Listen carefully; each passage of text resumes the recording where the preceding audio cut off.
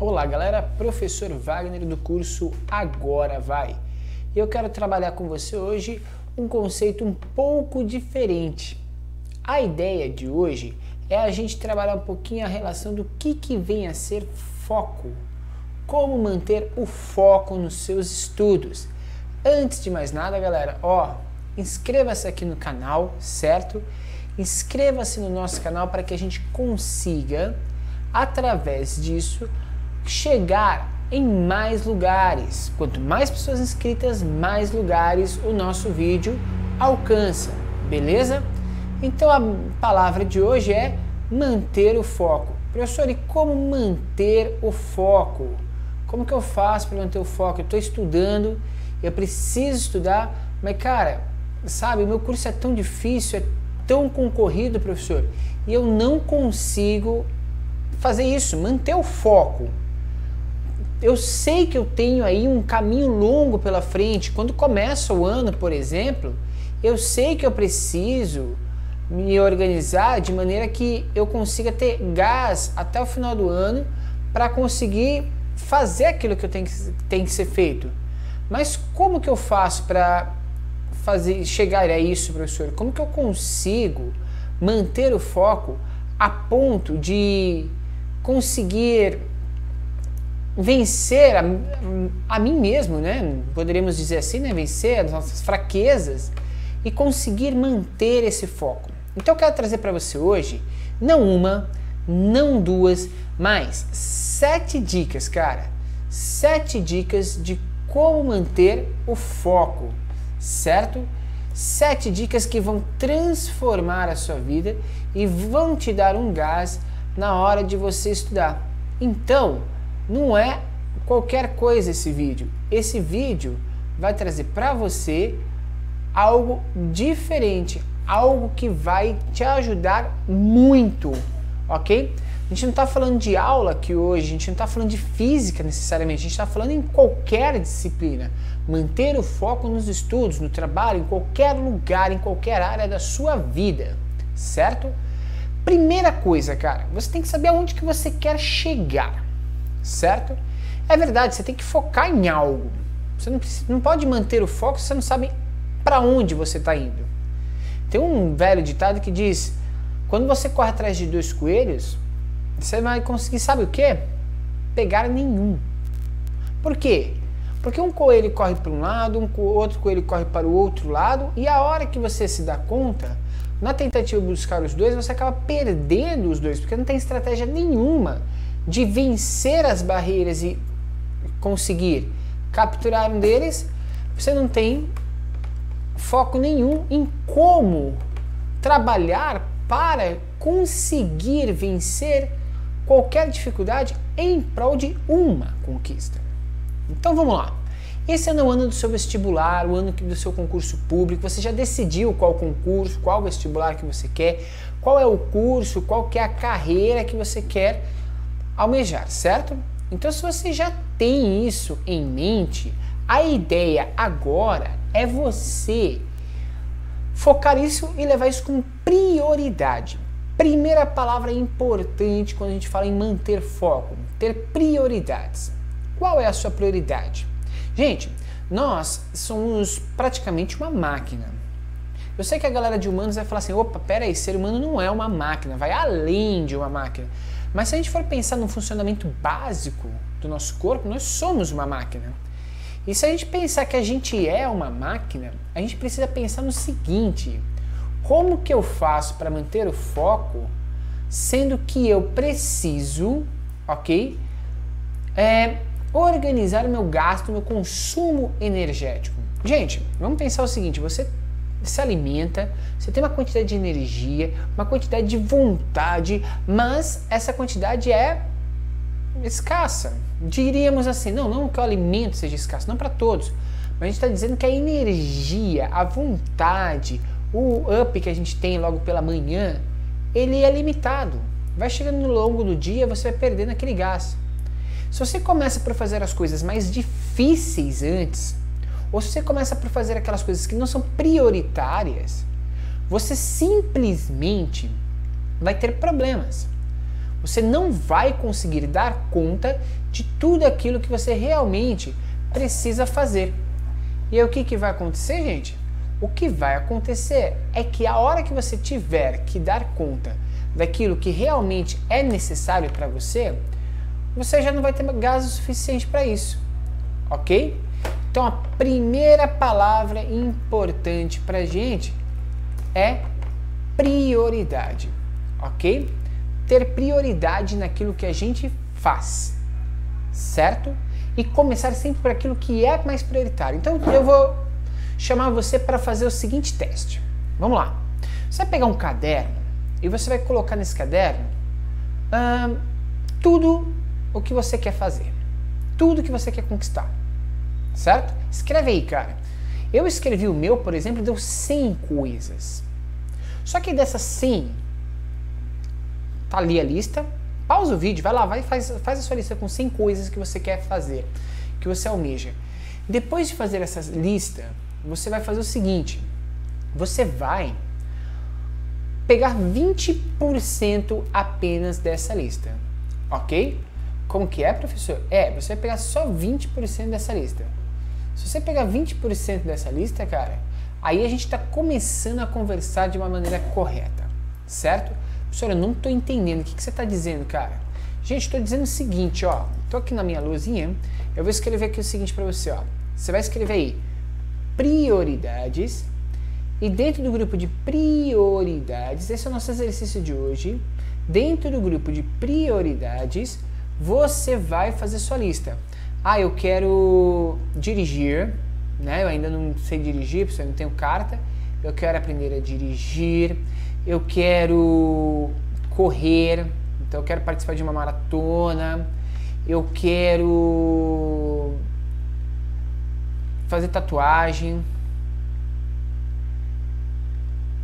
Eu quero malhar, ficar com o corpo legal, porque a galera né, vai ficar me exigindo um corpo legal. Eu quero falar inglês, né? Então falar inglês. E aí uma série de coisas que a gente tem aí, né? Falar inglês. Uma série de coisas. Dentre essas coisas, olha o que apareceu aqui: vestibular, concurso militar, concurso público. Sei lá, cara, tem um monte de coisa, né?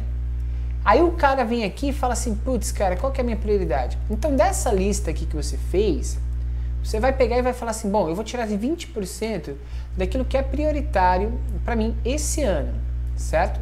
Então aqui eu coloquei aqui uma lista bem pequena: uma, duas, três, quatro, cinco, seis coisas. Dessas coisas, 20%, cara, 20% de 6 vai dar aí praticamente uma coisa, certo? Qual que é a minha prioridade esse ano? Cara, olha, dirigir, putz, cara, é muito legal, é maneiro, vou conseguir sair com a galera, pá. Mas, mano, dirigir, cara, não é minha prioridade esse ano. Se eu aprender a dirigir o ano que vem, cara, tá tranquilo, é razoável, tá ótimo. Não tem essa necessidade. Putz, cara, correr é legal, hein, cara. Na verdade, eu vou tentar manter isso daqui, mas não vai ser minha prioridade. Eu até posso tentar correr aí, pá, mas se eu não conseguir completar uma maratona, aí de umas provas de corrida menores. Fazer uma tatuagem, pô, posso reservar ali um finalzinho de semana tal, mas primeiro eu quero dar conta de umas coisas antes, então posso colocar. Então, ó, esse cara aqui por enquanto eu risquei desse ano. Esse cara aqui eu vou deixar em observação. Eu quero fazer, dá tempo, dá para encaixar, esse aqui também dá para encaixar, mas não são a prioridade. Malhar, opa, é bom em malhar, cara, certo? Dependendo de quanto tempo que eu vou me dedicar, então deixa em observação. Falar inglês faz parte do estudo, então manter o cérebro ativo é interessante, certo? Mas qual é a minha prioridade para esse ano? Minha prioridade para este ano é o vestibular, independente de qualquer coisa, cara. Então eu vou colocar isso aqui à frente de tudo, vestibular. Depois vem as outras coisas. Então eu vou gastar a minha energia, o momento que eu tenho mais energia, o momento que eu estou mais ligado, eu vou gastar pensando no meu vestibular, em estudar. Eu não posso gastar a minha energia no momento ali que eu estou malhando. Putz, cara, tô aqui malhando, gastar toda a minha energia, vou dar um gás. Pa... Não! Peraí, malhar vai te deixar com o corpo legal, vai te deixar com saúde, mas essa era a sua prioridade, chega no final do ano você está com o corpo saradão, mas você passou no vestibular, você conseguiu construir a sua carreira. É sobre isso que a gente está falando, sobre construção de carreira profissional. E quando a gente fala de construção de carreira profissional, essa deve ser a prioridade máxima, certo? Então você tem que pensar no seguinte: as outras coisas são interessantes. Eu quero assistir um filme, eu quero ir num teatro, eu quero conhecer tal cidade, eu quero viajar, eu preciso ir para a praia. Pô, cara, mas a sua prioridade tem que ser o seu vestibular. Professor, mas eu preciso de um momento para descansar, é verdade. Ah, professor, eu vou para a praia, então tranquilo, cara. Só que você precisa passar um mês na praia. É esse ano que você precisa conhecer a Europa? É neste ano que você precisa realmente tirar essa carta? Ou você poderia deixar isso para um próximo ano? Pensando na ideia de que o foco e a prioridade vão te ajudar a chegar mais longe, certo? Então pensa comigo exatamente nesse ponto, tá? A prioridade é a chave para que a gente consiga atingir o sucesso. As pessoas que atingiram o sucesso ou as pessoas com maior índice de sucesso na vida são aquelas pessoas que souberam no momento certo focar as suas prioridades. Então faça a lista, gente, do 20%. Pessoal, mas se eu fizer uma lista de 20% tiver 100 coisas, 20% são 20 coisas. É, aí faz o 20% dos 20%. Então você pega essas 20 coisas e tira 20% disso, vai dar 4. Olha, dessas 4 tá legal, cara. Aí prioriza quem é o carro-chefe dentro dessas 4. Beleza? Gente, então, se você quiser ser um profissional, se você quiser ser um estudante altamente focado, uma pessoa que vai ter sucesso, ok, em suas tarefas, presta atenção nas próximas dicas que eu vou dar para você, ok? Primeira coisa, para você conseguir manter aquela sua lista de prioridades, você precisa aprender a dizer não. Basta, não, não posso fazer isso agora, não posso contribuir contigo agora, não posso ir, galera num tal lugar agora, ok? Eu não posso, não dá. Se eu for, eu tô perdido, entendeu?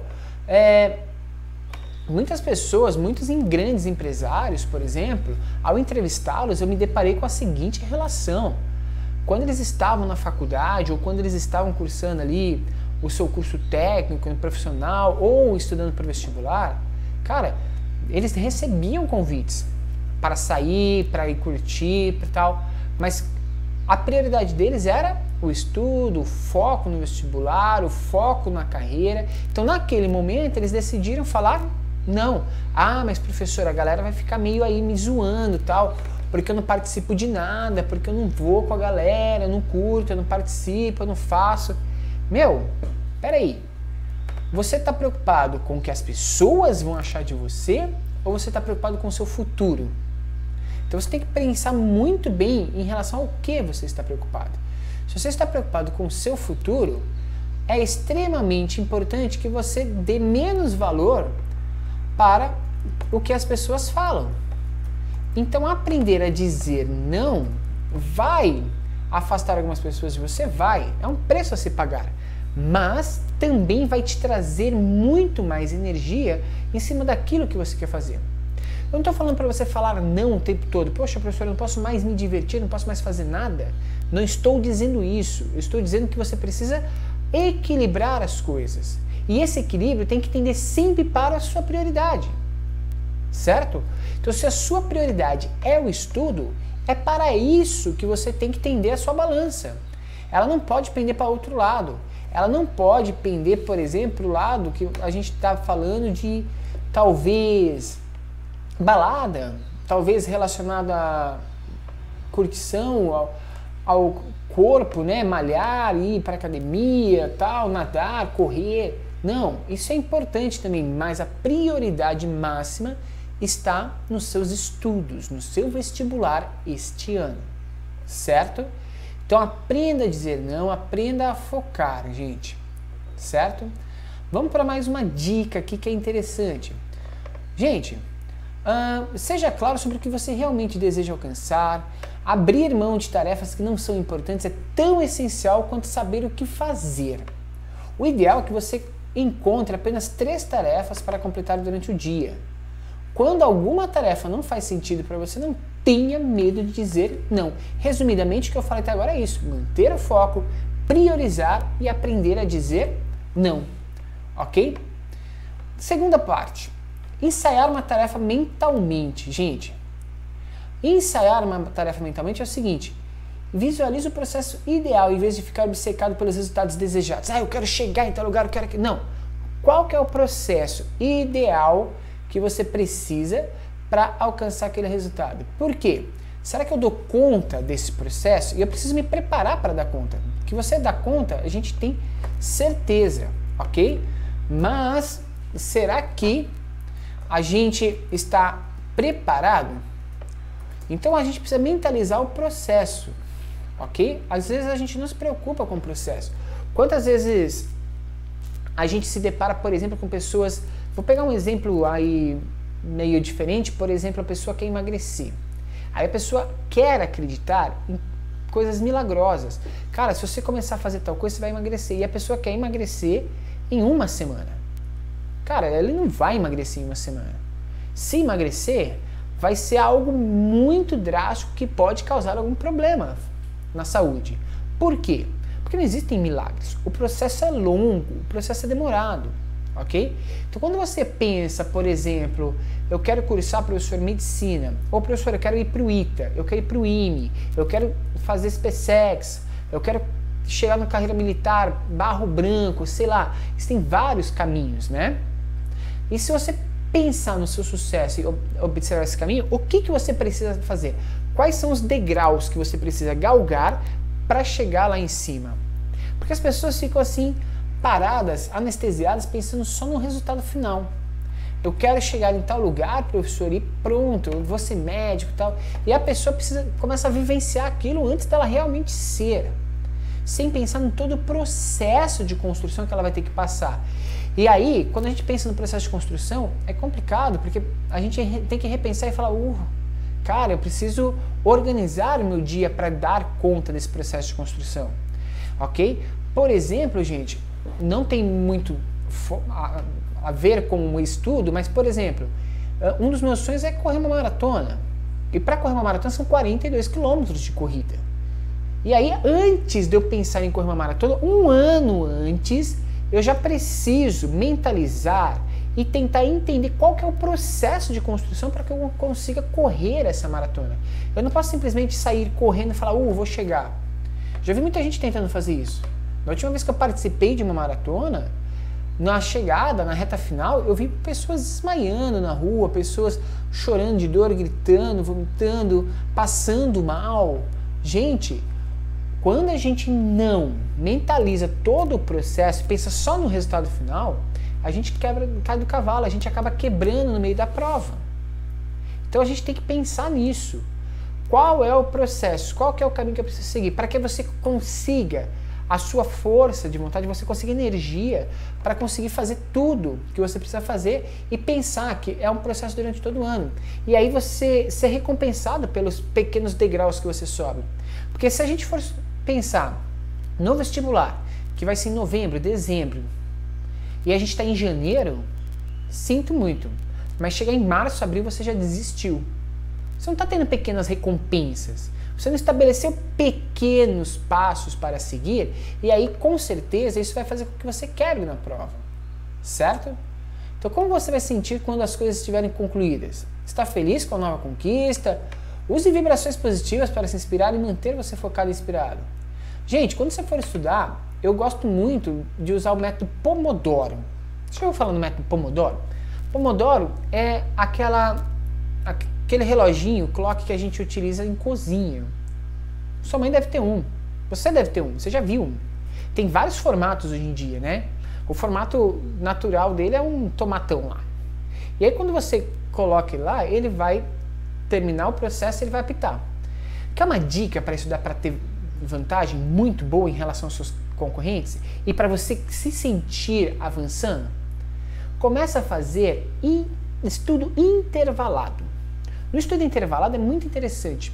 Primeiro, qual que é a sua prioridade? Ah, eu quero estudar agora, tal, vou estudar matemática aqui hoje. Então você vai colocar no seu Pomodoro lá de 25 a 30 minutos no máximo.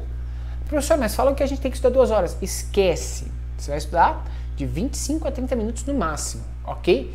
É nesse momento que você vai ter desempenho máximo. O que, que você vai fazer? Estuda. Deu 25 minutos, ele vai tocar. Deu esses 25 minutos, você vai levantar, vai esticar, tal, vai dar uma respirada, vai tomar uma água, vai se dar ao luxo de ter uma premiação. Agora eu posso levantar e tomar uma água e voltar a estudar. agora eu posso dar uma olhada lá fora o que está acontecendo. Agora eu posso ir lá falar um alô para meu pai, para minha mãe e tal. E aí eu volto para o estudo. Então eu vou dar um intervalo ali de 5 minutos e volto para mais uma bateria de 25 a 30 minutos. Cara, você vai aumentar aí em aproximadamente 50 a 60% do seu rendimento de estudo. Ou seja, aquilo que você tinha que estudar em um dia, utilizando aquela técnica das duas horas, você vai conseguir estudar uma vez e meia isso, cara. Você vai ter um rendimento muito maior. Então compensa você pensar nisso, certo? Beleza? Vamos para o próximo passo aqui, galera. O próximo passo está relacionado a manter a energia para cima. Como manter energia? Quando você se esforça para manter o foco, você fica esgotado e prejudica toda a sua criatividade. Intervalos irregulares entre tarefas, de 5 a 15 minutos, pode ajudar. É o que eu acabei de falar para você. Ou seja, quando você quer se manter focado, quer manter energia, pensa nessa recompensa de 5 até 15 minutos. Quando a gente está falando de estudo, por exemplo, a gente está falando aí de fazer intervalos de 5 minutos. Então seria muito bacana você fazer esses pequenos intervalos, certo? 25 minutos de estudo, 5 de intervalo. 25 de estudo, 5 de intervalo. 25 de estudo, 5 de intervalo. Faça quatro séries e aí você dá um intervalo maior. De uma hora, duas horas, e aí depois você retoma e faz isso novamente, ok? E aí você pode fazer duas grandes séries dessa, você vai ter quatro grupos aí, oito grupos de estudo em um dia, né? Ou seja, você vai ter estudado 100 mais 100 minutos. Você vai estudar 200 minutos por dia. Se você pensar em 200 dias de estudo, você vai ter estudado aí, cara, quantos minutos? Faz a conta. 200 vezes 200 vai dar 4, 400, 4 mil, 40 mil minutos em um ano de estudo em alto rendimento. A gente não está falando em quantidade de estudo de baixo rendimento. Porque a galera fala assim, a galera tem muito orgulho de falar assim, nossa, eu estudei 8, 12, 15 horas por dia para conseguir passar no vestibular. Muito legal. Mas você poderia ter estudado metade disso se você tivesse estudado em alto rendimento. Ou seja, se você tivesse usado um processo intervalado de alto rendimento para poder fazer esse estudo. Dentro da educação física da, da área esportiva, esse tipo de treinamento se chama HIIT, que é treinamento em alta intensidade. Dentro do estudo, nosso cérebro é músculo. Então, quando a gente fala de estudo, a gente também tem que pensar que existe essa possibilidade de um treinamento em alta intensidade. Ok? E aí você consegue ter um aproveitamento muito maior dos seus estudos. Tranquilo, galera? Pessoal, eu vou ficando por aqui são algumas dicas, vai vir mais dicas, são sete dicas no total, mas eu não vou deixar esse vídeo muito longo, senão você vai acabar não querendo assistir ele inteiro, ok? Antes de mais nada, galera, dá um like aí, ó, clica aqui pra gente, se inscreve no canal se você curtiu esse vídeo, beleza? E a gente volta na próxima semana com mais dicas de estudo para você como estudar física, como estudar química, como estudar matemática, como aprender exatos, como organizar e planejar seus estudos. Serão todos vídeos que a gente vai trazer aqui para você manter o foco, organização do tempo, tudo para ajudar você a conquistar os seus sonhos. Beleza? Gente, eu sou o professor Wagner do curso Agora Vai. Tá aqui meu nome, ó. Professor Wagner do curso Agora Vai. Beleza? E se você tiver interesse em ter um acompanhamento personalizado dos seus estudos, entre em contato comigo, ok? Você pode entrar em contato comigo aqui mesmo, deixando nos comentários aqui uh, a sua pergunta, o seu questionamento e as suas intenções. Professor, eu quero ter um acompanhamento personalizado, eu quero aprender a estudar em alta intensidade, esse hit de estudo, para ter que poder ter um maior aproveitamento em menor intervalo de tempo ok? Estou aqui para te ajudar, estou aqui para trazer para você todo esse benefício. Claro que, gente, vamos lá, para a gente poder fazer esse curso, né, personalizado, esse acompanhamento personalizado, isso tem um determinado custo, certo? Mas a minha ideia é que se você acompanhar essas dicas gratuitas, você já tem um grande aproveitamento. Mas se você tem a intenção de chegar ainda mais longe, vem com a gente, vem ser sucesso. Não deixe de acompanhar as nossas aulas de física, não deixe de acompanhar todos os nossos comentários, os nossos vídeos, que, gente, esse ano é o ano da sua aprovação. Valeu e até o próximo vídeo.